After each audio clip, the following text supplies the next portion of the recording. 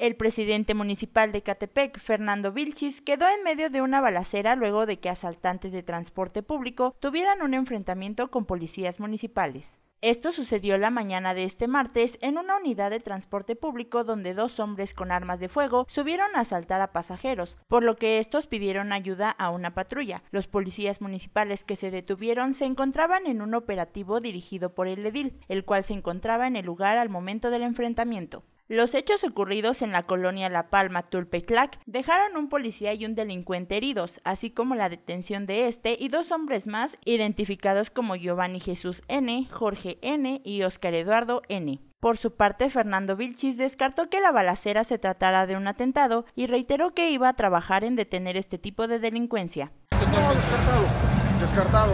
Obviamente, pues derivado de las situaciones que han sucedido en otros municipios, pues tomamos unas se los, anuncié, unas medidas muy fuertes ya de seguridad sin rozar en el exceso, pero sí estamos haciendo un trabajo obviamente de seguridad y se va a sentir propiamente en nuestro municipio.